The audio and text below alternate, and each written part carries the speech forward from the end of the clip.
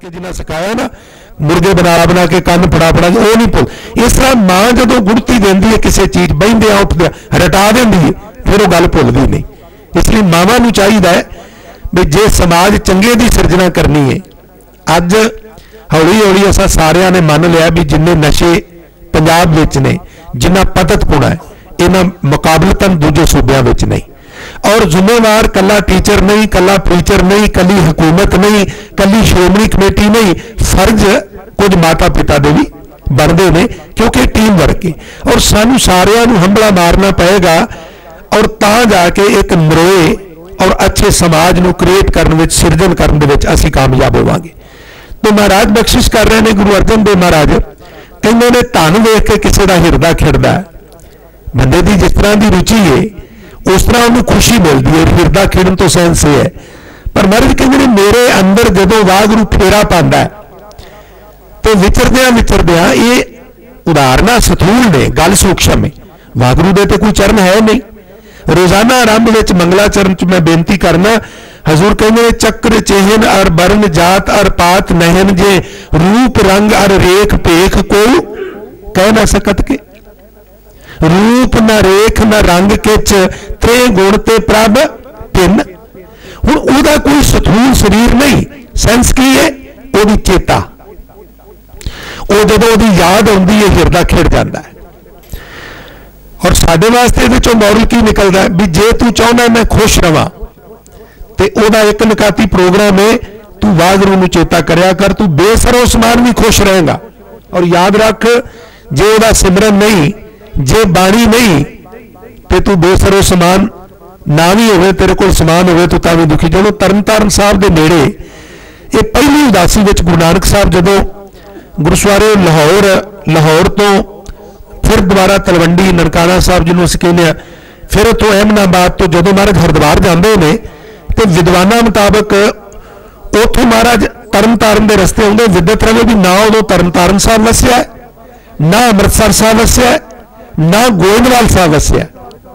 ਖਡੂਰ ਨਾ ਵਸਿਆ ਵਰਗਾ ਹੈਗਾ ਸੀ। ਪਰ ਇੱਥੇ ਕਰਕੇ ਸੰਨ ਵਿੱਚ ਇੱਕ ਨਗਰ ਸੀ ਦੀਪਾਲਪੁਰ। ਔਰ ਉਹ ਦੀਪਾਲਪੁਰ ਦਾ ਕੋੜੀ, ਕਿਉਂਕਿ ਛੂਤ ਦਾ ਰੋਗ ਹੈ ਉਹਨੂੰ ਨਗਰ ਵਾਲਿਆਂ ਨੇ ਨਗਰ ਤੋਂ ਬਾਹਰ-ਬਾਹਰ ਇੱਕ ਛੰਨ ਬਣਾ ਕੇ ਉਹਦੇ ਚ ਬਾਹੇ ਔਰ ਰੱਸੀ ਪਾ ਕੇ ਇੱਕ ਠੂਠੇ ਨੂੰ ਬੰਨ ਕੇ ਉਹਦੇ ਗਲ ਦੇ ਵਿੱਚ ਉਹ ਠੂਠਾ ਪਾ ਦਿੱਤਾ ਔਰ ਆਉਂਦੇ ਜਾਂਦੇ ਉਹਦੇ ਵਿੱਚ ਕੁਝ ਖਾਣ ਵਾਲੀ ਵਸਤੂ ਪਾ ਦਿੰਦੇ ਕਿਉਂਕਿ ਗਲੇ ਹੋਏ ਹੱਥ ਪੈਰ ਔਰ ਕੋਈ ਕੋਲ ਵੀ ਖੜਾ ਨਹੀਂ ਸੀ ਹੁੰਦਾ, ਘਰੇਣਾ ਹੁੰਦੀ ਸੀ ਔਰ ਮਹਾਰਾਜ ਉੱਥੇ ਪਹੁੰਚ ਕੇ ਗਏ। ਦੁਆਲੇ ਦੁਆਲੇ ਨਾ ਅੱਜ ਵਾਰ ਜੀ ਕੀਤੀ ਹੋਈ, ਅੱਗੇ ਇੱਕ ਖਿੜਕੀ ਜੀ ਲਾ ਛੱਡੀ ਤੇ ਮਹਾਰਾਜ ਨੇ ਜਦੋਂ ਖਿੜਕੀ ਜੀ ਨੂੰ ਚੁੱਕ ਕੇ ਪਿੱਛਾ ਕੀਤਾ, ਚੂੰ ਦੀ ਆਵਾਜ਼ ਆਈ। ਇਹ ਬੜਾ ਹੈਰਾਨ ਹੋਇਆ ਮੇਰੇ ਕੋਲ ਕੌਣ ਆਇਆ? ਜਦੋਂ ਵੇਖਿਆ ਤੇ ਵੇਖ ਕੇ ਠੰਡ ਪੈ ਗਈ। ਮਹਾਰਾਜ ਨੇ ਉੱਥੇ ਇਤਿਹਾਸਕਾਰਾਂ ਮੁਤਾਬਕ ਸ਼ਬਦ ਉਚਾਰਨ ਕੀਤਾ ਵੀ ਜੀਓ ਤਪਤ ਹੈ ਬੜੀ ਉੱਚੀ ਉੱਚੀ ਵਰਲਾਪ ਕਰਦਾ ਹਾਏ ਮਰ ਗਿਆ, ਹਾਏ ਰੱਬਾ ਜਾਨ ਕੱਢ ਲੈ, ਹਾਏ ਰੱਬਾ ਮੇਰੀ ਜਾਨ ਕੱਢ ਲੈ। ਤੁਸੀਂ ਅੱਜ ਦੀ ਤਰੀਕ ਵਿੱਚ ਵੀ ਵੇਖਿਆ ਹੋਵੇਗਾ, ਐਸੇ ਐਸੇ ਰੋਗ ਨੇ ਵੀ ਹੂੰਗਰ ਭਰਦਾ ਬੰਦਾ। ਬਿਲਕੁਲ ਬੇਸ ਕਮਜ਼ੋਰ ਹੈ। ਉਂਝ ਗੱਲ ਕਰਨ ਦਾ ਉਹਦਾ ਦਿਲ ਨਹੀਂ ਕਰਦਾ, ਪਰ ਅੰਦਰੋਂ ਆਪਣੇ ਆਪ ਹੂੰਗਰ ਨਿਕਲਦੀ ਔਰ ਇਸ ਤਰ੍ਹਾਂ ਵਰਲਾਪ ਕਰਦਾ ਸੀ ਤੇ ਮਹਾਰਾਜ ਨੇ ਉਹਨੂੰ ਪੁੱਛਿਆ ਵੀ ਸੱਜਣਾ, ਤੇਰੀ ਇਹ ਦਸ਼ਾ, ਇਹਦਾ ਕਾਰਨ ਤੈਨੂੰ ਪਤਾ ਹੈ? ਕਿਉਂਕਿ ਨਿਵਾਰਨ ਕਰਨਾ ਹੈ ਤੇ ਕਾਰਨ ਲੱਭਣਾ ਪਏਗਾ। 200 ਰੁਪਇਆ ਡਾਕਟਰ ਦੀ ਫੀਸ ਲੈਬ ਵਿੱਚ 2000 ਉਹ ਕਹਿੰਦਾ, ਮੈਂ ਨੇਰੇ ਤੀਰ ਨਹੀਂ ਮਾਰਨਾ, ਮੈਂ ਪਹਿਲਾਂ ਕਾਰਨ ਲੱਭਣਾ ਮੈਨੂੰ ਪਤਾ ਹੈ ਬੁਖਾਰ ਹੈ ਪਰ ਇਹ ਮਲੇਰੀਆ ਹੈ, ਇਹ ਟਾਈਫਾਈਡ ਹੈ ਜਾਂ ਇਹ ਡੇਂਗੂ ਹੈ ਹੁਣ ਤੁਸੀਂ ਸਾਰੇ ਸਿਆਣੇ ਬੈਠੇ ਹੋ, ਮੈਂ ਮੈਡੀਕਲ ਸਾਇੰਸ ਨਾਲ ਰਿਲੇਟਡ ਸੱਜਣ ਵੀ ਬੈਠੇ ਹੋਗੇ ਵੀ ਜੇ ਤੁਸੀਂ ਡੇਂਗੂ ਵਿੱਚ ਮਲੇਰੀਆ ਦਾ ਮੈਡੀਸਿਨ ਦਈ ਜੋ ਜਾਂ ਦੂਸਰੇ ਦਾ ਦਈ ਜੋ ਤੇ ਜਿਹੜੇ ਪਲੇਟਲੈਟ ਕਾਊਂਟ ਨੇ ਹੋਰ ਮਨਫੀ ਹੋ ਸਕਦੇ ਨੇ। ਹੋਰ ਮਾਈਨਸ ਹੋ ਸਕਦੇ ਨੇ, ਖਤਰਨਾਕ ਸੌਦਾ ਹੋ ਸਕਦਾ ਇਸ ਲਈ ਉਹ ਕਹਿੰਦਾ ਵੀ ਪਹਿਲਾਂ ਕਾਰਨ ਲੱਭਣਾ ਮੈਂ ਕਹਿੰਦਾ ਤੈਨੂੰ ਕਾਰਨ ਦਾ ਪਤਾ ਹੈ? ਵਰਲਾਪ ਕਿਉਂ ਕਰਨਾ ਹੈ? ਅਖਲੀਆਂ ਮਾਰੇ, ਕੋੜ ਪੈ ਉਹ ਕਹਿੰਦੇ, ਕੋੜ ਤੇ ਪੈ ਗਿਆ, ਕੋੜ ਪਿਆ ਕਿਉਂ ਹੈ? ਮਾਰੇ, ਮੈਨੂੰ ਤੇ ਨਹੀਂ ਪਤਾ। ਹਜ਼ੂਰ ਨੇ ਉੱਤੇ ਬਚਨ ਕੀਤਾ, ਜੀਓ ਤਪਤ ਹੈ, ਬਾਰੋ ਬਾਰ। ਤਪ ਤਪ ਖਪੈ, ਬਹੁਤ ਬੇਕਾਰ। ਫਿਰ ਆਖਿਆ, ਜੈ ਤਨ, ਬਾਣੀ ਵਿਸਰ ਜਾਏ।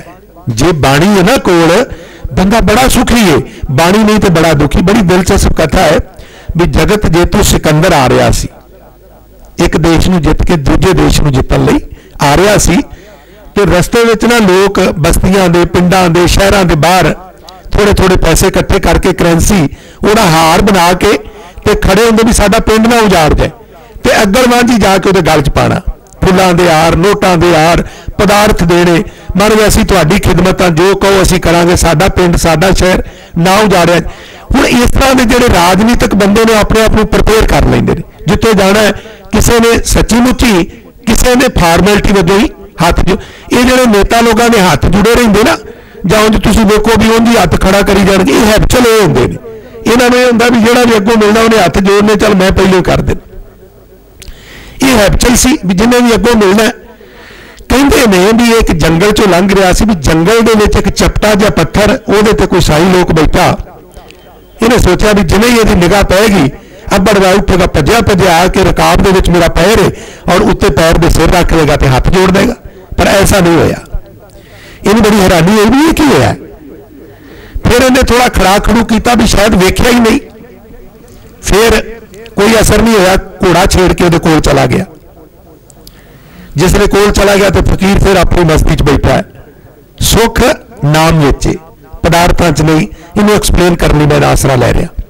ਕਹਿੰਦੇ ਨੇ ਵੀ ਫਿਰ ਸਿਕੰਦਰ ਨੇ ਕਹਿ ਹੀ ਦਿੱਤਾ ਵੀ ਤੈਨੂੰ ਪਤਾ ਮੈਂ ਕੌਣ ਆ? ਉੱਥੇ ਬੜਾ 8-10 ਲਾਈਨਾਂ ਕਿਸੇ ਕਵੀ ਨੇ ਬੜੀਆਂ ਭਾਵਪੂਰਤ ਲਿਖੀਆਂ ਨੇ, ਫਕੀਰ ਦੇ ਮੂੰਹ ਕਢਾਈਆਂ ਨੇ। ਉਹ ਕਹਿ ਲਗਾ, ਮੈਨੂੰ ਪਤਾ ਤੂੰ ਕੌਣ ਹੈ? ਉਹ ਕਹਿ ਲਗਾ, ਫਿਰ ਦੱਸ ਉਹ ਕਹਿਣ ਲੱਗਾ ਤੂੰ ਇਨਸਾਨ ਹੈ, ਫ਼ਰਕ ਇੰਨਾ ਹੈ ਵੀ ਮੈਂ ਪੱਥਰ ਤੇ ਆ, ਜ਼ਮੀਨ ਤੇ ਆ ਔਰ ਤੂੰ ਘੋੜੇ ਤੇ ਹੈ। ਉਹ ਕਹਿਣ ਲੱਗਾ, ਉਹ ਤੇ ਠੀਕ ਹੈ ਪਰ ਮੈਂ ਕੌਣ ਉਹਦਾ ਮਤਲਬ ਸੀ ਵੀ ਉਹ ਕਹੇ ਵੀ ਮਾਰੇ ਤੁਸੀਂ ਸਿਕੰਦਰ ਮਹਾਨ ਹੋ। ਪਰ ਉਹਨੇ ਨਹੀਂ ਕਿਹਾ। ਉਹ ਕਹਿਣ ਲੱਗਾ, ਉਹ ਤੇ ਠੀਕ ਹੈ, ਮੈਂ ਸਿਕੰਦਰ ਹੈ ਸਿਕੰਦਰ। ਉਹ ਬੜੀ ਬੇਪਰਵਾਹੀ ਦੀ ਦੇ ਨਾਲ, ਲਾਪਰਵਾਹੀ ਨਾਲ ਕਹਿਣ ਲੱਗਾ, ਹੋਵੇਗਾ। ਕਹਿੰਦੇ ਨਾ, ਸੰਤਨ ਅਵਰ ਨਾ ਕਾਹੂ, ਜਾਨੀ ਬੇਪਰਵਾਹ ਸਦਾ ਰੰਗ ਹਰਕ। ਹੈ ਅਮੀਰ ਕੌਣ ਹੈ? ਜਿਹਨੇ ਲੋੜਾਂ ਘਟਾ ਲਈਆਂ ਨੇ। ਅਮੀਰ ਉਹ ਨਹੀਂ ਜਿਹਦੇ ਕੋਲ ਸਮਾਨ ਜ਼ਿਆਦਾ ਹੈ। ਅਮੀਰ ਉਹ ਜਿਹਨੇ ਆਪਣੇ ਸਰੀਰ ਨੂੰ ਹੈਬਚਲ ਕਰ ਲਿਆ ਆਪਣੀਆਂ ਲੋੜਾਂ ਸਮੇਟ ਲਈਆਂ ਨੇ। ਵੀ ਮੈਂ ਬਿਨਾਂ ਲੋੜਾਂ ਤੋਂ ਘੱਟ ਲੋੜਾਂ ਕਰਕੇ ਜੀਵਨ ਨਿਰਵਾਹ ਕਰ ਸਕਾਂ, ਮੈਨੂੰ ਲੋੜ ਹੀ ਨਾ ਪਵੇ ਔਰ ਜੱਬ ਚ ਪੈਣ ਦੀ ਲੋੜ ਹੀ ਨਹੀਂ। ਤੋ ਕਹਿੰਦੇ ਨੇ ਵੀ ਕਹਿਣ ਲੱਗਾ ਮੈਂ ਸਿਕੰਦਰ ਮਹਾਨ ਉਹ ਕਹਿਣ ਲੱਗਾ ਹੋਵੇਗਾ। ਜਦੋਂ ਉਹਨੇ ਕਿਹਾ ਨਾ ਹੋਵੇਗਾ ਇਹਦਾ ਮੱਥਾ ਠਣਕਿਆ ਵੀ ਮੇਰਾ ਤੇ ਨਾ ਸੁਣ ਕੇ ਲੋਕਾਂ ਦੀਆਂ ਪਤਲੂਨਾਂ ਗਿੱਲੀਆਂ ਹੋ ਜਾਂਦੀਆਂ ਨੇ, ਇਹ ਕਹਿੰਦਾ ਹੋਵੇਗਾ। ਇਹ ਸੱਚੀ ਮੁੱਚੀ ਦਾ ਫਕੀਰ ਲੱਗਦਾ ਔਰ ਰਾਜਨੀਤਿਕ ਬੰਦੇ ਗਿਰਗਟ ਵਾਂਗੂ ਰੰਗ ਬੜੀ ਛੇਤੀ ਬਦਲਦੇ ਨੇ। ਅੱਖ ਲਗਾਓ ਸਿਕੰਦਰਾ, ਇਹਦਾ ਲਾਹਾ ਲੈ ਲੈ। ਇਹ ਸੱਚੀ ਮੁੱਚੀ ਦਾ ਲੱਗਦਾ ਹੀ। ਅੱਖ ਲਗਾ ਫਕੀਰ ਸਾਈ, ਮੇਰੇ ਵਾਸਤੇ ਦੁਆ ਕਰ। ਉਹ ਕਹਿਣ ਲਗਾ, ਕੀ ਦੁਆ ਕਰਾਂ? ਆਖਣ ਲਗਾ ਵੀ ਮੈਂ ਚੱਲਿਆ ਚੜਾਈ ਕਰਕੇ ਦੇਸ਼ ਜਿੱਤਣ। ਦੁਆ ਕਰ ਮੇਰੀ ਜਿੱਤ ਹੋਵੇ। ਉਹ ਕਹਿਣ ਲਗਾ ਵੀ ਚਲੋ ਮੈਂ ਦੁਆ ਤੇ ਕਰ ਦਿਆਂਗਾ। ਮੰਨ ਲਿਆ ਵੀ ਮੇਰੀ ਦੁਆ ਕਰਕੇ ਤੂੰ ਜਿੱਤ ਵੀ ਜਾਏਗਾ। ਤੂੰ ਮੈਨੂੰ ਇਹ ਦੱਸ ਵੀ ਜਦੋਂ ਤੂੰ ਜਿੱਤ ਜਾਏਗਾ, ਤੂੰ ਫੇਰ ਕੀ ਕਰੇਗਾ? ਕਹਿੰਦਾ ਫਿਰ ਉਦੋਂ ਅਗਲਾ ਮੁਲਕ ਜਿੱਤਾਂਗਾ। ਕਹਿੰਦਾ ਚਲੋ ਉਦੋਂ ਅਗਲਾ ਮੁਲਕ ਜਿੱਤ ਲਿਆ, ਉਦੋਂ ਬਾਅਦ ਕੀ ਕਰੇਗਾ? ਕਹਿੰਦਾ ਫਿਰ ਉਦੋਂ ਅਗਲਾ। ਤੋਂ ਵਾਰਤਾਲਾਪ ਥੋੜਾ ਲੰਬਾ ਹੋ ਗਿਆ, ਉਦੋਂ ਅਗਲਾ ਉਦੋਂ ਅਗਲਾ। ਸਿਕੰਦਰ ਖਿੱਚ ਕੇ ਕਹਿਣ ਲੱਗਾ ਵੀ ਗੱਲ ਸੁਣ, ਜਦੋਂ ਤੱਕ ਸਾਰੀ ਦੁਨੀਆ ਨਹੀਂ ਜਿੱਤ ਲੈਂਦਾ, ਉਦੋਂ ਤੱਕ ਇੰਜ ਹੀ ਕਰਦਾ ਰਹਿਣਾ। ਉਹ ਕਹਿਣ ਲੱਗਾ, ਚੱਲ ਮੰਨ ਲਿਆ ਤੂੰ ਸਾਰੀ ਦੁਨੀਆ ਜਿੱਤ ਲੇਗਾ ਤੂੰ ਸਾਰੀ ਦੁਨੀਆ ਜਿੱਤ ਲੇਗਾ ਦੱਸ ਫੇਰ ਕੀ ਕਰੇਗਾ? ਪਤਾ ਸਿਕੰਦਰ ਨੇ ਕੀ ਕੀਤਾ ਕਹਿਣ ਲੱਗਾ, ਸਾਈ, ਜਦੋਂ ਮੈਂ ਸਾਰੀ ਦੁਨੀਆ ਜਿੱਤ ਲਈ ਨਾ, ਮੈਂ ਆਰਾਮ ਨਾਲ ਬੈਠ ਜਾਣਾ ਉਹ ਕਹਿਣ ਲੱਗਾ ਮੂਰਖਾ ਤੂੰ ਸਾਰੀ ਦੁਨੀਆ ਤੇ ਕਤਲੋਗਾਰਤ ਮਚਾ ਕੇ ਆਰਾਮ ਨਾਲ ਬੈਠੇਗਾ ਉੱਤਰ ਘੋੜੇ ਤੋਂ ਇਸ ਪੱਥਰ ਤੇ ਆਰਾਮ ਨਾਲ ਬੈਠਣ ਵਾਸਤੇ ਤੇਰੇ ਵਾਸਤੇ ਵੀ ਜਗ੍ਹਾ ਹੈਗੀ ਹੈ ਤੂੰ ਹੁਣੇ ਕਿਉਂ ਨਹੀਂ ਬੈਠਦਾ ਮੈਂ ਬੜੇ ਆਰਾਮ ਨਾਲ ਬੈਠਾ ਵਾ ਔਰ ਬੜੇ ਸੁੱਖ ਚ ਕੋਈ ਡਿਸਟਰਬੈਂਸ ਨਹੀਂ ਬਿਲਕੁਲ ਨਿਰਜਰ ਜੰਗਲ ਹੈ ਉੱਠਣਾ ਵਾ ਔਰ ਬਣੇ ਬਣਾਏ ਪੱਕੇ ਪਕਾਏ ਫਲ ਖਾ ਲੈਣਾ ਵਾ ਔਰ ਫਿਰ ਇਬਾਦਤ ਵਿੱਚ ਬੈਠ ਜਾਣਾ ਕੋਈ ਪ੍ਰੋਬਲਮ ਨਹੀਂ ਕੋਈ ਸਮੱਸਿਆ ਨਹੀਂ ਔਰ ਤੂੰ ਆ ਬੈਠ ਪਰ ਜਿਨ੍ਹਾਂ ਨੂੰ ਸਮਝ ਆਈ, ਉਹਨਾਂ ਨੇ ਕਹਿ ਦਿੱਤਾ, ਸੁਖ ਨਾਹੀ ਬਹੁਤਾ ਧਨ ਖਾਟੇ, ਸੁਖ ਨਾਹੀ ਪੇਖੈ ਨ੍ਰਿਤ ਨਾਟੇ, ਸੁਖ ਨਾਹੀ ਬਹੁ ਦੇਸ਼ ਕਮਾਏ, ਸਰਬ ਸੁਖਾ ਹਰ ਹਰ ਗੁਣ ਗਾਏ। ਜੋ ਸੁਖ ਕੋ ਚਾਹੇ ਸਦਾ ਸ਼ਰਨ ਰਾਮ ਕੀਲੇ ਇਸ ਲਈ ਹਜ਼ੂਰ ਬਖਸ਼ਿਸ਼ ਕਰ ਰਹੇ ਨੇ ਤੇ ਕਹਿ ਰਹੇ ਨੇ, ਸੁਖ ਦਾ ਸੂਤਰ ਅਕਾਲ ਪੁਰਖ ਵਾਹਿਗੁਰੂ ਦਾ ਨਾਮ ਹੈ ਪ੍ਰਿਆ ਸੰਧੜੀ ਭੁੱਖ ਨੂੰ ਲਾਵਣ ਤ੍ਰਿਵਿਕਰਾ ਧਿਆਨ ਦਿਆ ਜੇ। ਪ੍ਰਿਆ ਸੰਦੜੀ ਸੰਦੜੀ ਦੇ ਅਰਥ ਨੇ ਦੀ। ਜਿੱਥੇ ਗੁਰਬਾਣੀ ਸੰਦਾ ਹੁੰਦਾ ਨਾ, ਸੱਸੇ ਟਿੱਪੀ ਦੱਦੇ ਕੰਨਾ ਸੰਦਾ ਸੰਦਾ ਦੇ ਅਰਥ ਵੀ ਦਾ ਹੁੰਦੇ ਨੇ। ਇੱਥੇ ਸੰਦੜੀ ਦੇ ਅਰਥ ਵੀ ਦਾ ਨੇ। ਪ੍ਰਿਆ, ਸੰਦੜੀ, ਭੁੱਖ। ਪ੍ਰਿਆ ਮੈਨੇ ਪਿਆਰਾ। ਪਿਆਰੇ ਅਕਾਲ ਪੁਰਖ ਨੂੰ ਮਿਲਣ ਦੀ ਤਾਂਗ ਜਿਹੜੀ ਮੇਰੇ ਅੰਦਰ ਹੈ ਪਿਆਰੇ ਅਕਾਲ ਪੁਰਖ ਨੂੰ ਮਿਲਣ ਦੀ ਜਿਹੜੀ ਮੇਰੇ ਅੰਦਰ ਭੁੱਖ ਹੈ ਨਾ, ਜਿਹੜੀ ਮੇਰੇ ਅੰਦਰ ਤਾਂਗ ਹੈ ਉਹ ਜਿਹੜੀ ਤਾਂ ਹੈ ਉਹ ਭੁੱਖ ਬਣ ਗਈ ਹੈ। ਤੇ ਜਦੋਂ ਭੁੱਖ ਲੱਗੀ ਹੋਵੇ, ਅਸੀਂ ਕੀ ਕਰਨੇ ਆ? ਆਮ ਤੌਰ ਤੇ ਭੋਜਨ ਛਕਨੇ ਆ। ਔਰ ਭੋਜਨ ਵਿੱਚ ਸਾਡੇ ਇੱਥੇ ਜਿਹੜਾ ਕਲਚਰ ਹੈ, ਉਹਦੇ ਵਿੱਚ ਰੋਟੀ ਬੜੀ ਮਸ਼ਹੂਰ ਹੈ। ਰੋਟੀ ਖਾਂਦੇ ਆ। ਉਸ ਰੋਟੀ ਨੂੰ ਕੋਈ ਚਪਾਤੀ ਕਹਿ ਲੈ, ਪ੍ਰਸ਼ਾਦਾ ਕਹਿ ਲੈ, ਕੋਈ ਪਰੌਠਾ ਕਹਿ ਲੈ, ਕੁਝ ਕਹਿ ਲੈ, ਉਹ ਖਾਂਦੇ ਆ। ਤੇ ਉਹਦੇ ਨਾਲ ਫਿਰ ਕੋਈ ਲਾਵਣ ਚਾਹੀਦਾ ਸ਼ੇਖ ਫਰੀਦ ਸਾਹਿਬ ਨੇ ਇੱਕ ਤਾਂ ਬਚਨ ਕੀਤਾ ਹੈ। ਉਹ ਕਹਿੰਦੇ, ਫਰੀਦਾ ਰੋਟੀ ਮੇਰੀ ਕਾਟ ਦੀ, ਲਾਵਣ ਮੇਰੀ ਭੁੱਖ। ਲਾਵਣ ਦੇ ਅਰਥ ਪਤਾ ਕੀ ਨੇ? ਰੋਟੀ ਦੇ ਨਾਲ ਲਾਣਾ ਕੀ ਹੈ ਦਾਲ ਲਾਣੀ ਏ, ਕੋਈ ਸਬਜ਼ੀ ਲਾਣੀ ਏ, ਉਹ ਦਾਲ ਨੂੰ ਜੋ ਵੀ ਸਾਡੇ ਕੋਲ ਸਮਾਨ ਹੈ ਉਹਨੂੰ ਸਲੂਣਾ ਅਸੀਂ ਕਹਿ ਸਕਨੇ ਆ ਸਲੂਣਾ। ਹਜ਼ੂਰ ਗੁਰੂ ਅਰਜਨ ਸਾਹਿਬ ਸੱਚੇ ਪਾਤਸ਼ਾਹ ਕਹਿੰਦੇ, ਰੱਬ ਨੂੰ ਮਿਲਣ ਦੀ ਭੁੱਖ ਲੱਗੀ ਹੈ ਮੈਨੂੰ। ਤੇ ਮੈਂ ਕੀ ਕੀਤਾ? ਆਪਣੇ ਆਪੇ ਭਾਵ ਨੂੰ ਪੀ ਕੇ, ਮਕਾ ਕੇ ਉਹਦਾ ਸਲੂਣਾ ਬਣਾ ਲਿਆ। ਭਾਵ ਆਪਣੇ ਅੰਦਰੋਂ ਮੈਂ ਆਪਾ ਭਾਵ ਖਤਮ ਕਰ ਲਿਆ। ਇਹ ਜਦੋਂ ਮੋਟਾ ਮੋਟਾ ਹੁੰਦਾ ਹੈ ਤੇ ਗੁਰਮੁਖੋ ਇਹ ਹੰਕਾਰ ਅਖਵਾਂਦਾ ਹੈ, ਜਦੋਂ ਥੋੜਾ ਜਿਹਾ ਅਸੀਂ ਗੁਰਬਾਣੀ ਪੜ੍ਹਨ ਲੱਗ ਪੈਂਦੇ ਆ ਗੁਰਬਾਣੀ ਸੁਣਨ ਲੱਗ ਪੈਂਦੇ ਆ ਗੁਰਬਾਣੀ ਸਮਝਣ ਲੱਗ ਪੈਂਦੇ ਪਤਾ ਲੱਗ ਜਾਂਦਾ ਵੀ ਹੰਕਾਰ ਗੁਰਬਾਣੀ ਵਿੱਚ ਵਿਵਰਤਿਤ ਕੀਤਾ, ਅਸੀਂ ਨਹੀਂ ਕਰਨਾ। ਫਿਰ ਇਹ ਥੋੜਾ ਜਿਹਾ ਬਚਾਅ ਹੋ ਜਾਂਦਾ, ਪਰ ਕਦੀ ਕਦੀ ਇਹ ਫਿਰ ਸੂਖਸ਼ਮ ਹੋ ਜਾਂਦਾ ਹੈ। ਇਹ ਮਾਨ ਵਿੱਚ ਬਦਲ ਜਾਂਦਾ ਔਰ ਜਿਹੜਾ ਮਾਨ ਹੈ ਉਹ ਵੀ ਬੜਾ ਖਤਰਨਾਕ ਹੈ ਕਿਉਂਕਿ ਤੁਸੀਂ ਪੜ੍ਹਦੇ ਹੋ, ਕਬੀਰ ਮਾਇਆ ਤਜੀ ਤੋਂ ਕਿਆ ਭਇਆ ਜੋ ਮਾਨ ਤਜਿਆ ਨਹੀਂ ਜਾਏ।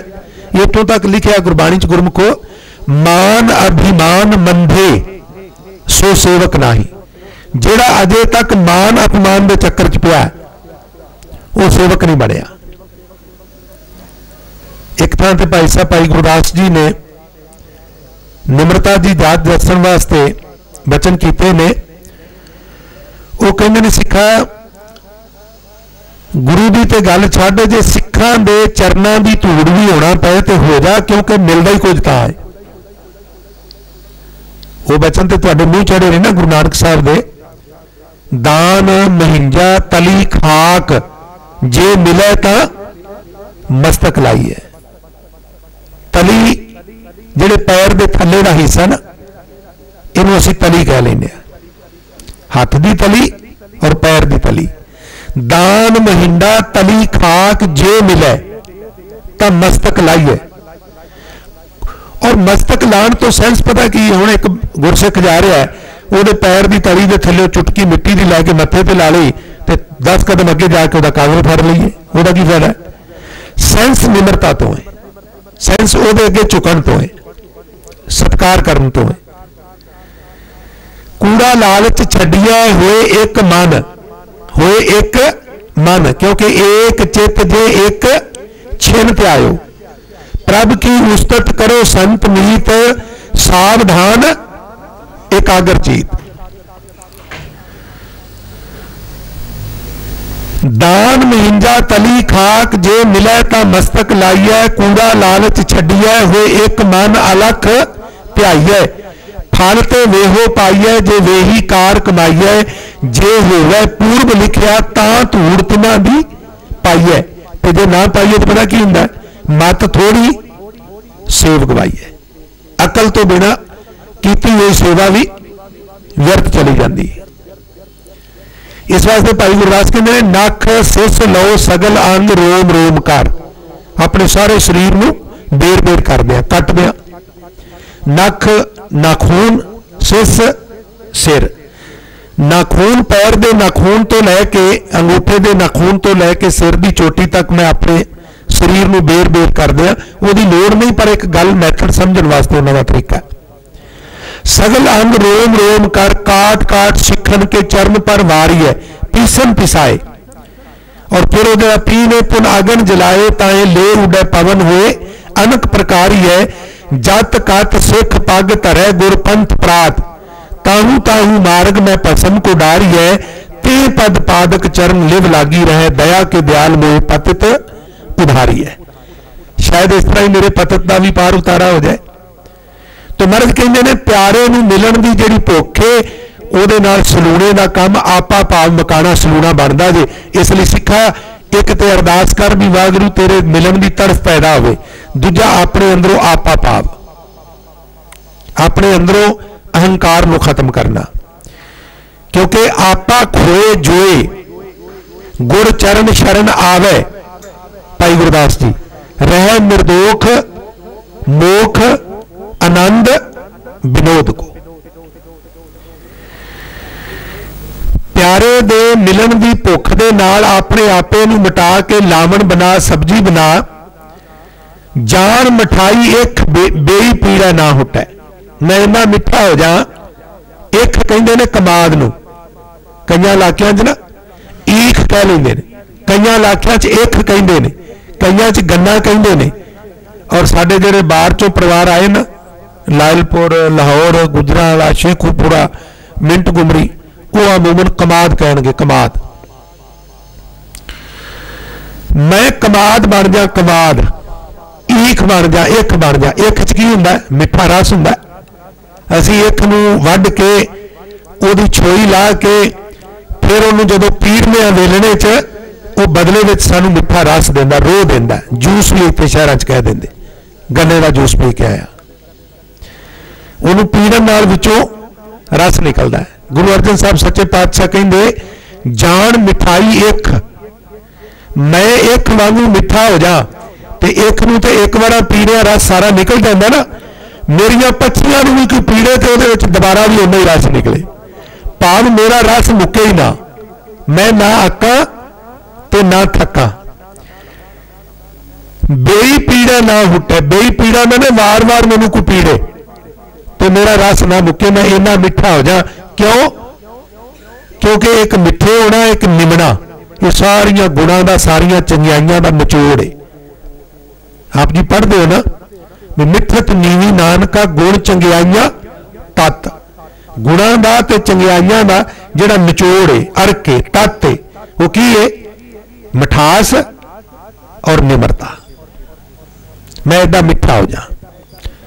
ਔਰ ਤੁਸੀਂ ਦੇਖਿਆ ਵੀ ਅਜੋਕੇ ਯੁੱਗ ਦੇ ਵਿੱਚ ਬਿਜ਼ਨਸ ਦੀ ਦੁਨੀਆ ਵਿੱਚ ਮਨੁੱਖ ਜ਼ਿਆਦਾ ਧਨ ਕਮਾ ਸਕਦਾ ਨੌਕਰੀ ਪੇਸ਼ਾ ਬੰਦਾ, ਖੇਤੀ ਵਾਲਾ ਬੰਦਾ, ਉਹਨਾਂ ਦੇ ਮੁਕਾਬਲੇ ਇੱਕ ਬਿਜ਼ਨਸਮੈਨ ਬੰਦਾ ਜ਼ਿਆਦਾ ਧਨ ਕਮਾ ਔਰ ਬਿਜ਼ਨਸ ਦੀ ਦੁਨੀਆ ਵਿੱਚ ਕਿਹੜਾ ਬੰਦਾ ਕਾਮਯਾਬ ਹੈ? ਕੋਈ ਬੰਦਾ ਦੁਕਾਨ ਤੇ ਆ ਜਾਏ, ਸਣੇ ਜੁੱਤੀ ਉਹਦੇ ਅੰਦਰ ਵੜ ਜਾਏ। ਇਹਨਾਂ ਮਿੱਠਾ ਬੋਲੇ, ਚੰਗੀ ਗੱਲ ਕਰੇ, ਉਸ ਤਰੀਕੇ ਨਾਲ ਗੱਲ ਕਰੇ। ਔਰ ਤੁਸੀਂ ਕਿਸੇ ਦੀ ਦੁਕਾਨ ਤੇ ਜਾਓ, ਔਰ ਅੱਗੋਂ ਦੁਕਾਨਦਾਰ ਖੜਾ ਕਿਧਰ ਮੂੰਹ ਚੁੱਕਿਆ ਹੈ? ਉਹ ਕਹੇ ਤੁਹਾਡਾ ਭਲਾ ਹੋ ਜਾਏ। ਇਹ ਤੇ ਗੁੱਸੇ ਵਿੱਚ ਚਲੋ ਕਿਸੇ ਹੋਰ ਦੁਕਾਨ ਤੇ ਚਲੇ ਜਾਂਦੇ। ਇਹ ਵਾਹਿਗੁਰੂ, ਏਡੀ ਮੈਨੂੰ ਮਠਾਸ ਬਖਸ਼, ਕਿਉਂਕਿ ਗੁਣਾ ਦਾ, ਚੰਗਿਆਈਆਂ ਦਾ ਤੱਤ ਇੱਕ ਹੋਰ ਸ਼ਲੋਕ ਹੈ ਪੌੜੀ ਨਾਲ। ਹਜ਼ੂਰ ਫਰਮਾਨ ਕਰ ਰਹੇ ਨੇ, ਠੱਗਾ ਨੀ ਮੰਤਰੋੜ। ਇਹ ਜਿਹੜੀ ਦੁਨੀਆ ਹੈ, ਕੋਈ ਬੰਦਾ ਕਿਸੇ ਨਾਲ ਫਰੇਬ ਕਰਕੇ ਕੋਈ ਧੋਖਾ ਕਰਕੇ ਤੁਹਾਨੂੰ ਉਹਦਾ ਹੜਪ ਲੈਣਾ ਅਸੀਂ ਕਹਿੰਦੇ ਆ ਠੱਗੇ ਅਸੀਂ ਕਹਿੰਦੇ ਆ ਠੱਗੇ ਮਹਾਰਾਜ ਬਾਣੀ ਦੇ ਵਿੱਚ ਇੱਕ ਥਾਂ ਤੇ ਉਹਨਾਂ ਨੇ ਪ੍ਰਮਾਤਮਾ ਨੂੰ ਠੱਗ ਲਿਖਿਆ। ਭਗਤਾਂ ਦੀ ਬਾਣੀ 'ਚ ਵਚਨ ਆਉਂਦਾ ਹੈ, ਪ੍ਰਮਾਤਮਾ ਨੂੰ ਠੱਗ। ਹਰ ਠੱਗ ਹਰ ਠੱਗ। ਜੱਗ ਕੋ ਕਿਸੇ ਬੰਦੇ ਨੂੰ ਕਹੋ, ਇਹ ਠੱਗ ਹੈ ਗੁੱਸਾ ਕਰਦਾ, ਮੇਰੀ ਇਨਸਲਟ ਕੀਤੀ ਭਗਤ ਲਾੜ ਨਾਲ ਕਹਿੰਦੇ ਨੇ, ਰੱਬ ਜੀ, ਠੱਗ ਤੇ ਬੜੇ ਵੇਖੇ ਨੇ। ਤੇਰੇ ਵਰਗਾ ਕੋਈ ਠੱਗ ਨਹੀਂ ਵੇਖਿਆ। ਬੜਾ ਵੱਡਾ ਠੱਗ ਹੈ। ਉਹ ਕਹਿਣ ਲੱਗੇ, ਮੈਂ ਕਬੀਰ ਤੇਰੇ ਨਾਲ ਕਿਹੜੀ ਠੱਗੀ ਕੀਤੀ ਏ? ਕਹਿਣ ਲੱਗੇ, ਠੱਗੀ ਨਹੀਂ, ਠਗੌਰੀ ਲਾਈ। ਆ ਜਿਹੜੀ ਮਾਇਆ ਠਗੌਰੀ ਸਾਡੇ ਨਾਲ ਲਾ ਦਿੱਤੀ ਏ, ਇਹਦੇ ਪੁੱਛ ਵਿੱਚ ਸਾਰੇ ਸਵਾਸ ਗਵਾ ਦਿੰਦੇ ਨਾ ਬਾਣੀ ਪੜੀ ਨਾ ਸਿਮਰਨ ਕੀਤਾ, ਨਾ ਸੇਵਾ ਕੀਤਾ। ਮਾਇਆ ਦੇ ਚੱਕਰ 'ਚ ਇਹਨੇ ਉਲਝਾ ਲਿਆ, ਇਹਨੇ ਸਾਨੂੰ ਠੱਗੀ ਤੇ ਲਿਆ, ਹੋਰ ਕੀ ਕੀਤਾ? ਹਰ ਠੱਗ ਜੱਗ ਕੋ ਠਗੌਰੀ ਲਾਈ। ਹਰ ਕੇ ਵਿਯੋਗ ਕੈਸੇ ਜੀਓ ਮੇਰੀ ਮਾਈ? ਤੋ ਕਹਿੰਦੇ ਨੇ, ਇਹ ਜਿਹੜਾ ਦੁਨੀਆ ਰੂਪੀ ਠੱਗੀ ਹੈ ਨਾ, ਇਹਨੂੰ ਮੰਤਰੋੜ। ਮੰਤਰੋੜ ਦੇ ਅਰਥ ਕਰਨੇ ਥੋੜੀ ਦੇਰ ਮੰਮਾ ਪਾਸੇ ਕਰ ਦਿਓ। ਤਰੋੜ, ਚੰਗੀ ਤਰ੍ਹਾਂ ਤੋੜ ਦੇ। ਮੰਤਰੋੜ ਚੰਗੀ ਤਰ੍ਹਾਂ ਤੋੜ ਦੇ। ਇਹ ਜਿਹੜੀ ਠਗੌਰੀ ਤੈਨੂੰ ਰੱਬ ਨੇ ਲਾਈ, ਇਹਨੂੰ ਚੰਗੀ ਤਰ੍ਹਾਂ ਤੋੜ ਦੇ। ਜਾਣ ਗੰਧਰਬਾ ਨਗਰੀ। ਇਹ ਜਿਹੜਾ ਸੰਸਾਰ ਹੈ ਨਾ, ਇਹ ਗੰਧਰਬ ਨਗਰੀ ਹੈ। ਗੰਧਰਵ ਨਗਰੀ ਤੋਂ ਮਰਾਦ ਇਹ ਵੀ ਜੋ ਦਿਸਦਾ ਹੈ, ਉਹ ਨਹੀਂ। ਜਾਂ ਇੰਜ ਕਹਿ ਲੋ ਵੀ ਇਹ ਜੱਗ ਧੂਏ ਦਾ ਪਹਾੜ। ਮਾਜ ਕੀ ਵਾਰ ਦੇ ਸ਼ੁਰੂ ਵਿੱਚ ਗੁਰੂ ਨਾਨਕ ਸਾਹਿਬ ਨੇ ਕੁਝ ਇਸ ਭਾਵ ਦੇ ਬਚਨ ਕੀਤੇ ਨੇ। ਕਹਿੰਦੇ 10 10 ਬਾਲ ਧਨ 20 ਰਵਨ ਤੀਸਾ ਕਾ ਸੁੰਦਰ ਕਹਾਵੇ ਗੰਦਰਬਾ ਨਗਰੀ ਤੇ ਮੈਂ ਇੱਕ ਪੰਕਤੀ ਟਿਕਾਣੀ ਹੈ ਉੱਥੇ ਹੀ ਅਰਥ ਕਰਾਂਗਾ 40 ਪੁਰ ਹੋਏ 85 ਪੱਗ ਖਿਸੈ 60 ਕੇ ਬੜੇਪਾ 70 ਕਾ ਮਤਹੀਨ ਇੱਥੇ ਅਦਕ ਲਾਣੀ ਜੇ 70 ਕਾ ਮਤਹੀਨ ਕਹਾਂਗੇ ਤੇ ਫਿਰ ਜਿਹੜਾ 70 ਨੂੰ ਪੜ ਰਿਹਾ ਉਹ ਮਤਹੀਨ ਨਹੀਂ 70 ਕਾ ਮਤਹੀਨ 80 ਕਾ ਵਿਹਾਰ 90 ਕਾ ਸੇ ਜਾਸਨੀ ਟੰਡੋਲਮ ਢੂੰਡਮ ਡਿਟ ਮੈਂ ਨਾਨਕ ਜਗ ਧੁਵੇ ਕਾ ਤੌਲ ਹਰ। ਸੈਂਸੇ ਹੈ ਵੀ ਇਹ ਨਾਸ਼ਵੰਤ ਹੈ, ਸਦਾ ਰਹਿਣ ਵਾਲਾ ਨਹੀਂ। ਇਹਨੂੰ ਗੰਧਰਵ ਨਗਰੀ ਸਮਝ ਕੇ ਇਹਦੇ ਨਾਲ ਮੋਹ ਨਾ ਪਾ। ਇਹਦੇ ਵਿੱਚ ਉਪਰਾ ਉਪਰਾ ਰਹੋ। ਖਸਮੇ ਸੋਈ ਭਾਵਦਾ ਖਸਮੇ ਦਾ ਜਿਸ ਭਾਣਾ ਪਾਵੇ, ਦੁਨੀਆ ਵਿੱਚ ਪਰਉਣਾ ਦਾਵਾ ਛੱਡ ਰਹੇ, ਲਾ ਦਾਵੇ, ਪਰਉਣਚਾਰੀ ਵਾਂਗੂ ਰਵੇ ਇਹਦੇ ਵਿੱਚ ਖੁੱਬੇ ਨਾ। ਕਿਰਤਕਾਰ ਕਰੇ, ਜ਼ਿੰਮੇਵਾਰੀ ਨਿਭਾਏ, ਪਰ ਸੁਰਤ ਅਕਾਲ ਪੁਰਖ ਵੈਗਰੂ ਦੇ ਚਰਨਾਂ ਵਿੱਚ ਜੋੜੀ ਰੱਖੇ, ਆਪਣੇ ਆਪ ਨੂੰ ਮੈਂਟਲੀ ਪ੍ਰਪੇਅਰ ਕਰਕੇ ਰੱਖੇ, ਮਾਨਸਿਕ ਤੌਰ ਤੇ ਤਿਆਰ ਕਰਕੇ ਰੱਖੇ ਵੀ ਇਹ ਸਾਰਾ ਸੰਸਾਰ ਇੱਕ ਦਿਨ ਛੱਡ ਜਾਣਾ ਕੱਪੜ, ਰੂਪ ਸੁਹਾਵਨਾ ਛੱਡ ਦੁਨੀਆ ਅੰਦਰ ਜਾਵਨਾ ਮੰਦਾ, ਚੰਗਾ, ਆਪਣਾ ਆਪੇ ਹੀ ਕੀਤਾ, ਪਾਵਨਾ, ਹੁਕਮ ਕੀਏ ਮਨ ਭਾਵਨੇ? ਰਾਹ ਭੀੜੇ ਅੱਗੇ ਜਾਵਣਾ, ਨੰਗਾ, ਦੋਜਕ ਚਾਲਿਆ ਤਾਂ ਦਿਸੈ ਖਰਾ ਡਰਾਵਨਾ ਕਰ ਔਗਣ ਪਛੋਤਾਵਨਾ ਸੁਖ ਘਟਾਉ ਡੋਏ, ਦੋ ਘੜੀਆਂ ਦਾ ਸੁਖ। ਸੁਖ ਘਟਾਉ ਘੜੀਆਂ, ਡੋਏ ਡੋਏ, ਦੋ। ਦੋ ਘੜੀਆਂ ਦੇ ਸੁਖ ਲਈ ਨਾ, ਹਜ਼ੂਰ ਕਹਿੰਦੇ ਨੇ, ਇਸ ਪੰਧਾਣੂ ਘਰ ਘਣੇ, ਇਸ ਪਾਂਦੀ ਨੂੰ ਕਈ ਘਰਾਂ ਚ ਆਉਣਾ ਪੈਂਦਾ ਹੈ। ਧਿਆਨ ਦਿਆ ਜੀ। ਦੋ ਘੜੀਆਂ ਦਾ ਸੁਖ, ਪਾਪ ਵਿੱਚੋਂ ਸੁਖ ਮਿਲਦਾ ਨਾ। ਨਿਮਖ, ਕਾਮ ਸਵਾਦ ਕਾਰਨ ਕੋਟ ਦਿਨਸ ਦੁੱਖ ਪਾਵੇ, ਘੜੀ ਮੋਤ ਰੰਗ ਮਾਣੇ, ਫਿਰ ਬੌਰ ਬੌਰ ਪਛਤਾਵੇ। ਹਜ਼ੂਰ ਕਹਿੰਦੇ ਨੇ, ਦੋ ਘੜੀਆਂ ਦੇ ਸੁੱਖ ਲਈ ਕਈ ਘਰਾਂ ਚ ਆਉਣਾ ਪੈਂਦਾ। ਕਿਹੜੇ ਘਰ? ਐਸੇ ਘਰ ਹਮ ਬਹੁਤ ਬਸਾਏ ਜਦ ਹਮ ਰਾਮ ਗਰਭ ਹੋਏ ਆਏ। ਭਗਤ ਕਬੀਰ ਸਾਹਿਬ ਕਹਿੰਦੇ ਆ ਜਿਹੜੇ ਸਰੀਰ ਰੂਪੀ ਘਰ ਚ ਮੈਂ ਹੋਣਾ ਨਾ, ਇਸ ਤਰ੍ਹਾਂ ਦੇ ਕਈ ਸਰੀਰਾਂ ਵਿੱਚ ਮੈਂ ਵਾਸ ਕਰ ਚੁੱਕਾ ਵਾਂ। ਭਾਵ ਕਈ ਜਨਮ ਲੈ ਚੁੱਕਾ ਵਾ। ਔਰ ਫਿਰ ਅਵਸਥਾ ਬਣਦੀ ਹੈ, ਜੰਮ ਜੰਮ ਮਰੇ ਮਰੇ ਮਰ ਜੰਮੇ, ਬਹੁਤ ਸਜਾਏ ਪਿਆ ਦੇਸ਼ ਲੰਮੇ। ਮਰ ਕਹਿੰਦੇ ਦੋ ਘੜੀਆਂ ਦਾ ਸੁੱਖ, ਯਾਤਰਾ ਹੋਰ ਲੰਬੀ ਹੋ ਜਾਏਗੀ। ਇਹਨੂੰ ਹਜ਼ੂਰ ਬਾਣੀ 'ਚ ਵੀ ਕਹਿੰਦੇ ਨੇ ਵੀ, ਇਸ ਤਰ੍ਹਾਂ ਦਾ ਸੁੱਖ ਮੈਨੂੰ ਚੰਗਾ ਨਹੀਂ ਲੱਗਦਾ। ਜਿਸ ਸੁੱਖ ਵਿੱਚੋਂ ਦੁੱਖਾਂ ਦੀ ਲੰਬੀ ਦਾਸਤਾਨ ਸ਼ੁਰੂ ਹੁੰਦੀ ਹੈ। ਸੁਖ ਮੰਗਤ, ਦੁੱਖ ਆਗੇ ਆਵੇ, ਸੋ ਸੁਖ ਹਮਹੂ ਨਾ ਮੰਗਿਆ ਪਾਵੇ। ਵਿਖਿਆ ਅਜੂ ਸੁਰਤ, ਸੁਖ ਆਸਾ ਕੈਸੀ ਹੋਈ ਹੈ ਰਾਜਾ ਰਾਮ ਨਿਵਾਸਾ ਇਸ ਸੁਖ ਤੇ ਸ਼ਿਵ ਬ੍ਰਹਮ ਡਰਾਨਾ। ਸੋ ਸੁਖ ਹਮੂ ਸਾਚ ਕਰ ਜਾਣਾ ਸੰਕਾਦਕ ਨਾਰਦ ਮੁਨ ਸ਼ੇਖਾ, ਤਿੰਨ ਵੀ ਤਨ ਮੈਂ ਮਨ ਨਹੀਂ ਟੇਕਾ। ਇਸ ਵਾਸਤੇ ਹਜ਼ੂਰ ਕਹਿੰਦੇ ਨੇ, ਸੁਖ ਘਟਾਉ ਦੋਏ ਦੋ ਘੜੀਆਂ ਦਾ ਸੁਖ। ਤੇ ਇਸ ਪਧਾੜੂ ਘਰ ਘੜੇ। ਇਸ ਪਾਂਡੀ ਨੂੰ ਫਿਰ ਕੋਈ ਸਰੀਰ ਰੂਪੀ ਘਰਾਂ ਵਿੱਚ ਪਰਤ ਪਰਤ ਕੇ ਆਉਣਾ ਪੈਂਦਾ ਪਾਵ ਯਾਤਰਾ ਲੰਬੀ ਹੋ ਜਾਂਦੀ ਹੈ। ਆਵਾ ਗਾਉਣ ਦਾ ਚੱਕਰ ਲੰਬਾ ਹੋ ਜਾਂਦਾ ਹੈ। ਪੌੜੀ। ਅਕਲ ਕਲਾ ਮੈਂ ਪਾਈਏ ਪ੍ਰਭ ਅਲਖ ਅਲੇਖੰ। ਇੱਥੇ ਕਲਾ ਦੇ ਅਰਥ ਨੇ ਟੁਕੜਾ। ਗੁਰਬਾਣੀ ਚ ਕਲ ਦੇ ਅਰਥ ਤਾਕਤ ਵੀ ਨੇ। ਕਲ ਸ਼ਬਦ, ਗਿਆਨ, ਧਿਆਨ, ਕਿਛ ਕਰਮ ਨਾ ਜਾਣਾ, ਸਾਰ ਨਾ ਜਾਣਾ ਤੇਰੀ, ਸਭ ਤੇ ਵੱਡਾ ਸਤਗੁਰ ਨਾਨਕ ਜਿਨ ਕਲ ਰਾਖੀ ਮੇਰੀ। ਪਰ ਇੱਥੇ ਕਲਾ ਦੇ ਅਰਥ ਨੇ ਟੁਕੜਾ, ਹਿੱਸਾ। ਜਿਵੇਂ ਚੰਦਰਮਾ ਜਿਹੜਾ ਉਹ ਹਿੱਸਿਆਂ ਵਿੱਚ ਵੱਧਦਾ ਤੇ ਹਿੱਸਿਆਂ ਵਿੱਚ ਘਟਦਾ ਪਰਮਾਤਮਾ ਚੰਦਰਮੇ ਵਾਂਗੂ ਵੱਧਦਾ ਤੇ ਘਟਦਾ ਨਹੀਂ। ਇਹਦੇ ਅਰਥ ਪ੍ਰੋਫੈਸਰ ਸਾਹਿਬ ਨੇ ਇਹ ਕੀਤੇ ਨੇ। ਅਕਲ ਕਲਾ ਨਹਿ ਪਾਈਏ ਪ੍ਰਭ ਅਲਖ ਅਲੇਖਨ। ਜਿਹੜਾ ਅਕਾਲ ਪੁਰਖ ਵੈਗਰੂ ਇਹਨਾਂ ਅੱਖਾਂ ਨਾਲ ਨਹੀਂ ਦਿਸਦਾ, ਜਿਹੜਾ ਲੇਖੇ ਵਿੱਚ ਨਹੀਂ ਆਉਂਦਾ, ਉਹ ਹਿੱਸਿਆਂ ਵਿੱਚ ਨਹੀਂ ਵੰਡਿਆ ਜਾ ਸਕਦਾ। ਉਹ ਆਦ ਪੂਰਨ, ਮੱਧ ਪੂਰਨ, ਅੰਤ ਪੂਰਨ ਪਰਦੇਸ਼ ਹੈ।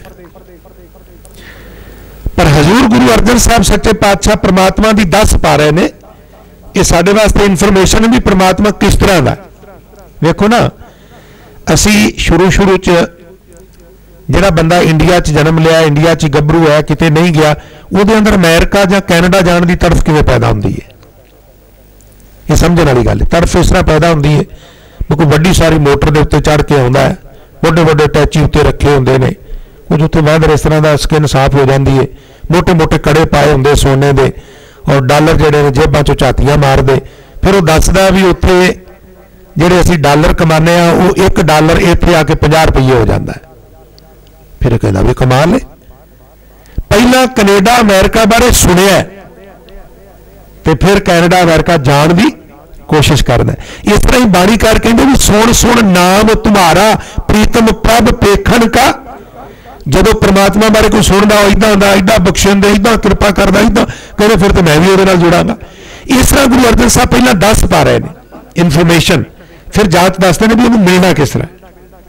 ਆਪ ਜੀ ਰਹਿਮਤ ਕਰ ਰਹੇ ਨੇ ਗੁਰੂ ਕੋ, ਖਟ ਦਰਸ਼ਨ ਭ੍ਰਮਤੇ ਫਿਰੈ ਨੈ ਮਿਲਿਆ ਪੇਖਣ ਆਖਣ ਲੱਗੇ ਜਿਹੜੇ ਖਟ ਦਰਸ਼ਨੀ ਨੇ ਨਾ, ਹੁਣ ਸਵਾਲ ਇਹ ਪੈਦਾ ਹੁੰਦਾ ਗੁਰਬਾਣੀ ਦੀ ਹਰ ਗੱਲ ਜਿਹੜੀ ਐਕਸਪਲੇਨੇਸ਼ਨ ਮੰਗਦੀ ਹੈ, ਵਿਆਖਿਆ ਮੰਗਦੀ ਹੁਣ ਕਹੋਗੇ ਖੱਟ ਦਰਸ਼ਨ ਕੀ ਹੈ ਖੱਟ ਮੈਨੇ 6 ਦਰਸ਼ਨ ਮੈਨੇ ਸਿਧਾਂਤ, ਵਿਚਾਰਧਾਰਾ।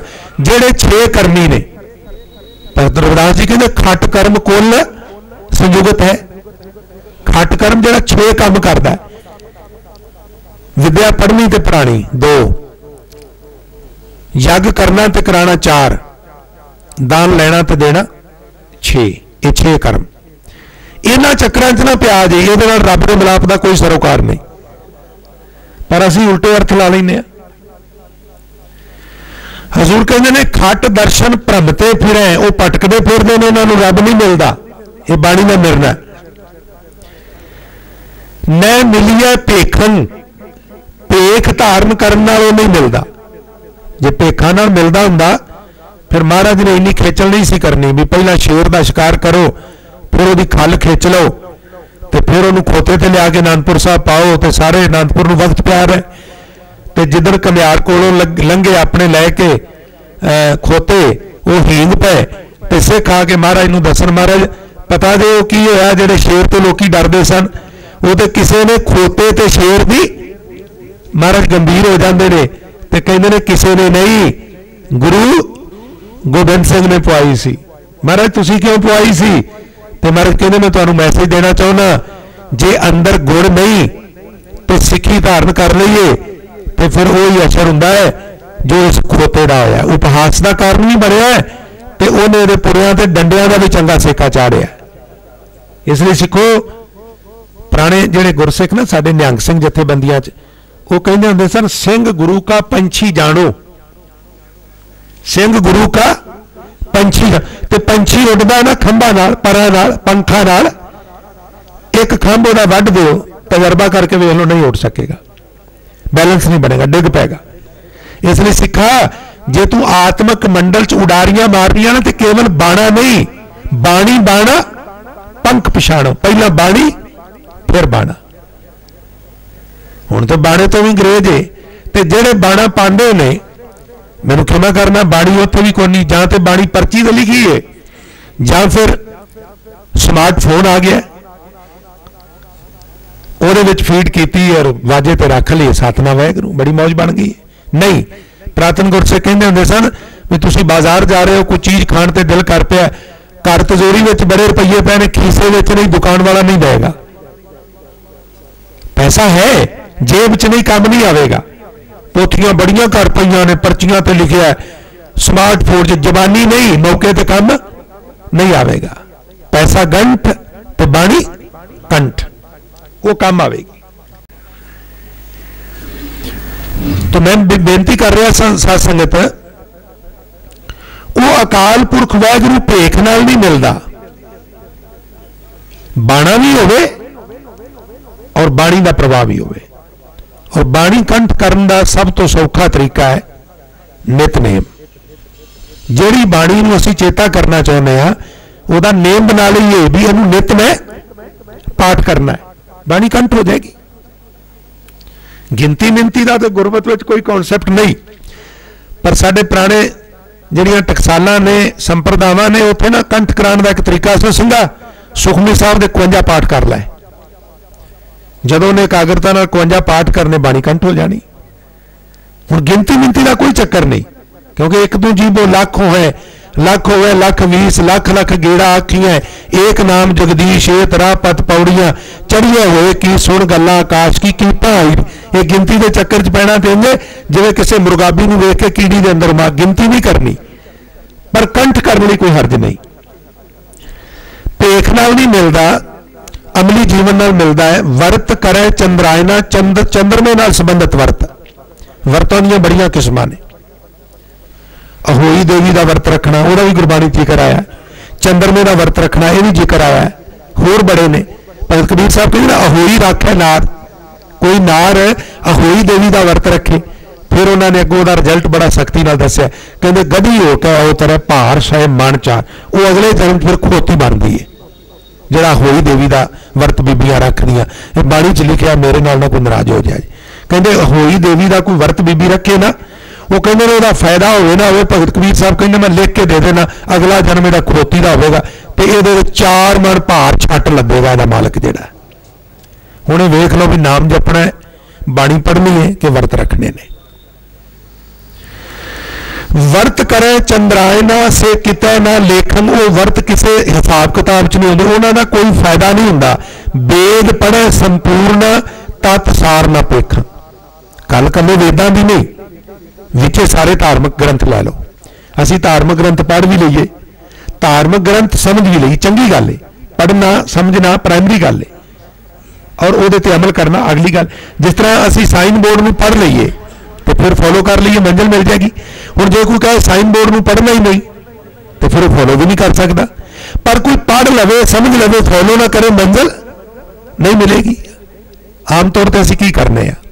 ਬੈਰੂਨੀ ਸਤਕਾਰ ਬਹੁਤ ਜ਼ਿਆਦਾ ਹੈ, ਹੋਣਾ ਚਾਹੀਦਾ ਸੋਹਣੇ ਰਮਾਲੇ, ਮੱਥਾ ਟੇਕਣਾ, ਪ੍ਰਕਰਮਾ ਕਰਨੀਆਂ, ਇਹ ਮਰਿਆਦਾ ਹੈ, ਕਰਨਾ ਚਾਹੀਦਾ ਪਰ ਜੇ ਇਹ ਸਾਰਾ ਕੁਝ ਕਰਕੇ ਬਾਣੀ ਪੜ੍ਹਦੇ ਨਹੀਂ, ਬਾਣੀ ਸਮਝਦੇ ਨਹੀਂ, ਬਾਣੀ ਤੇ ਅਮਲ ਨਹੀਂ ਕਰਦੇ, ਪਤਾ ਕਿਸ ਤਰ੍ਹਾਂ ਜਿਵੇਂ ਕਿਸੇ ਨੇ ਪੁਲ ਬਣਾਇਆ ਸੀ ਦਰਿਆ ਦੇ ਉੱਤੇ, ਪਹਿਲਾਂ ਵਿੱਚੋਂ ਲੰਘਦਾ ਸੀ, ਅੱਜ ਗਿਆ ਤੇ ਪੁਲ ਬਣਿਆ ਸੀ।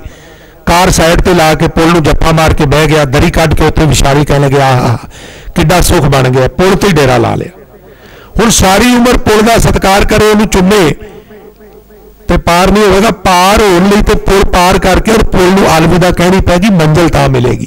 ਇਹ ਠੀਕ ਹੈ, ਪੁਲ ਨੇ ਕੰਮ ਸੌਖਾ ਕਰ ਦਿੱਤਾ, ਪਰ ਪੁਲ ਤੇ ਡੇਰਾ ਲਾਉਣ ਨਾਲ ਮੰਜ਼ਲ ਨਹੀਂ ਮਿਲ। ਬਾਣੀ ਸਾਡਾ ਮਾਰਗਦਰਸ਼ਨ ਕਰਦੀ ਏ। ਉਹ ਮਾਰਗਦਰਸ਼ਨ ਕਰਕੇ ਔਰ ਅਸੀਂ ਉਹਨੂੰ ਫੋਲੋ ਕਰ ਲਈਏ। ਅਦਰਵਾਈਜ਼ ਹਜ਼ੂਰ ਬਖਸ਼ਿਸ਼ ਕਰਦੇ ਨੇ ਵੇਦ ਪੜ੍ਹੈ, ਸੰਪੂਰਨ ਤਤ ਸਾਰ ਨਾ ਦੇਖਣ ਉਹ ਤਤ ਦੀ ਗੱਲ ਨੂੰ ਨਹੀਂ ਫਿਰ ਸਮਝਦੇ। ਕਿਉਂਕਿ ਵੇਦ ਕਿਤਾਬ ਇਸ ਤਰ੍ਹਾਂ ਪਾਈ, ਦਿਲ ਕਾ ਫਿਕਰ ਨਾ ਜਾਏ। ਤੁਕਦਮ ਕਰਾਰੀ ਜੋ ਕਰੋ ਹਾਜ਼ਰ, ਹਜ਼ੂਰ ਖੁਦਾਏ। ਬੰਦੇ ਖੋਜ ਦਿਲ ਹਰ ਰੋਜ਼। ਤੂੰ ਧਾਰਮਿਕ ਗ੍ਰੰਥਾਂ ਦੀ ਖੋਜ ਕਰ, ਚੰਗੀ ਗੱਲ ਹੈ ਕਦੀ ਕਦੀ ਦਿਲ ਦੀ ਵੀ ਖੋਜ ਕਰਿਆ ਕਰ, ਆਪੇ ਦੀ ਵੀ ਖੋਜ ਕਰਿਆ ਕਰ, ਕਿਉਂਕਿ ਜੋ ਬ੍ਰਹਿਮੰਡ ਹੈ, ਸੋਈ ਪਿੰਡ ਹੈ, ਜੋ ਖੋਜੈ ਸੋ ਪਾਵੇ। ਤਿਲਕ ਕੱਢੇ, ਇਸ਼ਨਾਨ ਕਰ, ਇਸ਼ਨਾਨ ਕਰਕੇ ਮੱਥੇ ਤੇ ਤਿਲਕ ਲਾਣਾ, ਇਹ ਵੀ ਧਾਰਮਿਕ ਪ੍ਰਕਿਰਿਆ ਦਾ ਇੱਕ ਹਿੱਸਾ ਹੈ। ਪੜ ਪੁਸਤਕ, ਸੰਧਿਆ ਬਾਦੰ ਸਿਲ, ਪੂਜਸ, ਬਗਲ ਸਮਾਦੰ ਮੁਖ ਝੂਠ ਵਿਭੂਖਨ ਸਾਰੰਗ, ਤ੍ਰੈਪਾਲ, ਤਿਹਾਲ ਵਿਚਾਰੰ ਗਲ, ਮਾਲਾ, ਤਿਲਕ ਲਿਲਾਟੰ ਦੇ ਧੋਤੀ ਵਸਤਰ ਕਪਾਟੰ ਜੇ ਜਾਣਸ ਬ੍ਰਹਮੰ ਕਰਮੰ, ਸਭ ਫੋਕਟ ਨੇਚੋ ਧਰਮੰ, ਕਉ ਨਾਨਕ ਵੀ ਆਉਂਦਾ ਤਾਂ ਕਉ ਬੇਣੀ, ਨਿਸ਼ਚੋ ਤੇ ਆਵੇ ਸਭ, ਬਾਕੀ ਸਾਰਾ ਪਾਠ ਡਿੱਟੋ ਹੈ ਉੱਥੇ ਬੇਣੀ ਆ ਜਾਏਗਾ, ਉੱਥੇ ਨਾਨਕ ਆ ਜਾਏਗਾ। ਬਿਨ ਸਤਗੁਰ ਬਾਟ ਨਾ ਪਾਵੇ। ਆਓ ਸਮਾਪਤੀ ਵੱਲ ਚਲੀਏ। ਪੇਖੀ ਪ੍ਰਭੂ ਨਾ ਲੱਭਈ ਸਾਰਾ ਭੇਖ ਦਾ ਖੰਡਨ ਹੈ ਪਰ ਇੱਕ ਗੱਲ ਵਿਦਤ ਰਵੇ, ਭੇਖ ਦਾ ਆਪਣਾ ਸੰਕਲਪ ਹੈ ਇਹਨੂੰ ਥੋੜਾ ਜਿਹਾ ਮੈਂ ਬੇਨਤੀ ਕਰ ਦਿਆਂ ਕਿਸੇ ਵਿਅਕਤੀ ਨੇ ਥਾਣੇਦਾਰ ਦੀ ਵਰਦੀ ਪਾਈ ਹੋਵੇ, ਪਰ ਉਹ ਥਾਣੇਦਾਰ ਹੋਵੇ ਨਾ, ਫਿਰ ਉਹ ਫੜਿਆ ਜਾਏ ਤੇ ਉਹਦਾ ਕੀ ਅਸਰ ਹੁੰਦਾ ਹੈ? ਪਰ ਕਿਸੇ ਕੋਈ ਵਿਅਕਤੀ ਥਾਣੇਦਾਰ ਹੈ, ਪਰ ਥਾਣੇਦਾਰ ਦੀ ਵਰਦੀ ਨਹੀਂ ਪਾਈ, ਤੇ ਚੌਕ 'ਚ ਖੜਾ ਹੋ ਜੇ ਟ੍ਰੈਫਿਕ ਨੂੰ ਰੋਕੇ, ਉਹਦੇ ਆਖੇ ਟ੍ਰੈਫਿਕ ਨਹੀਂ ਰੁਕਦੀ। ਇਹ ਕਾਂਸਟੇਬਲ ਨੇ ਡਰੈਸ ਪਾਈ ਹੋਵੇ ਨਾ, ਉਹ ਹੱਥ ਖੜਾ ਕਰਦਾ ਕਈ ਕਿਲੋਮੀਟਰ ਜਾਮ ਲੱਗ ਜਾਏਗਾ। ਪਰ ਡਰੈਸ ਨਹੀਂ ਪਾਈ ਇੱਕ ਆਈਪੀਐਸ ਅਫਸਰ ਵੀ ਚੌਕ 'ਚ ਕੇ ਖੜਾ ਹੋ ਜਾਏ, ਜਿਹਨੂੰ ਪਤਾ ਹੈ ਉਹਦੀ ਗੱਲ ਮੰਨੇਗਾ, ਜਿਹਨੂੰ ਪਤਾ ਨਹੀਂ ਉਹਦੀ ਗੱਲ ਨਹੀਂ ਮੰਨੇਗਾ। ਡਰੈਸ ਦਾ ਆਪਣਾ ਮਹੱਤਵ ਹੈ ਭੇਖ ਦਾ ਆਪਣਾ ਮਹੱਤਵ ਹੈ ਪਰ ਪਹਿਲਾਂ ਅੰਦਰ ਉਹ ਕਹਾਣੀ ਵੀ ਹੋਵੇ, ਫਿਰ ਇਹ ਸੋਨੇ ਤੇ ਸੁਆਗਿਆ ਜੇ ਨਹੀਂ, ਤੇ ਹਜ਼ੂਰ ਕਹਿੰਦੇ ਫਿਰ ਕੱਲਾ ਭੇਖ ਕੁਝ ਨਹੀਂ ਸਵਾਰ ਸਕਦਾ। ਭੇਖੀ ਪ੍ਰਭੂ ਨਾਲ ਲੱਭੀ, ਵਿਨ ਸੱਚੀ ਸਿੱਖਣ, ਜਦੋਂ ਤੱਕ ਗੁਰੂ ਦੀ ਸੱਚੀ ਸਿੱਖਿਆ ਗ੍ਰਹਿਣ ਨਹੀਂ ਕਰਦਾ ਫਿਰ ਹਜ਼ੂਰ ਬਖਸ਼ਿਸ਼ ਕਰਦੇ ਨੇ ਭੂਲਾ ਮਾਰਗ ਸੋ ਪਵੇ, ਜਿਸ ਤੁਰ ਮਸਤਕ ਲੇਖੰਗ। ਜਿਹਦੇ ਤੁਰ ਦਰਗਾਹ ਤੋਂ ਮੱਥੇ ਤੇ ਲੇਖ ਅਕਾਲ ਪੁਰਖ ਨੇ ਗੁਰੂ ਦੇ ਮਲਾਪ ਦਾ ਲਿਖਿਆ ਉਹਨੂੰ ਗੁਰੂ ਮਿਲਦਾ ਹੈ। ਤੇ ਫਿਰ ਉਹ ਕਹਿੰਦਾ ਵੀ ਭੂਲੇ ਮਾਰਗ ਜਿਹਨੇ ਬਤਾਇਆ ਐਸਾ ਗੁਰ। ਪਰ ਇਹ ਮਿਲਦਾ ਤਾਂ ਇਹ ਨਦਰ ਕਰੇ, ਜੇ ਆਪਣੀ ਤਾਂ ਨਦਰੀ ਸਤਗੁਰ ਪਾਇਆ। ਇਹ ਜਿਉ ਬਹੁਤੇ ਜਨਮ ਭਰਮਿਆ, ਤਾਂ ਸਤਗੁਰ ਸ਼ਬਦ ਸੁਨਾਇਆ ਫਿਰ ਕਹਿੰਦਾ, ਸਤਗੁਰ ਜੀਵਟ ਦਾਤਾ ਕੋਈ ਨਹੀਂ? ਸਭ ਸੁਣਿਓ ਲੋਕ ਸਬਾਇਆ ਤਾਂ ਫਿਰ ਗੱਲ ਬਣਦੀ ਹੈ। ਆਓ ਸਮਾਪਤੀ ਕਰੀਏ। ਤਿੰਨ ਜਨਮ ਸਵਾਰਿਆ ਆਪਣਾ, ਜਿਨ ਗੁਰ ਅੱਖੀ ਦੇਖਣ।